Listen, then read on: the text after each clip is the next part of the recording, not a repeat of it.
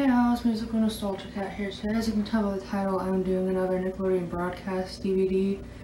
And sorry about the background noise, my mom decided that would be a perfect time to do laundry right now. And, um, hold on, here, see if that works. So, one of these DVDs is all cartoons, TV shows, and another one is both, I think. Only have two left. So we'll see what happens. I'm going to skip through the cartoons and mainly focus on the commercials. But also, by the way, this is an old TV. Okay, so I'm pretty sure that it's probably just all TV shows. So we're gonna make a video of it because TV's old, so it does have that bar you're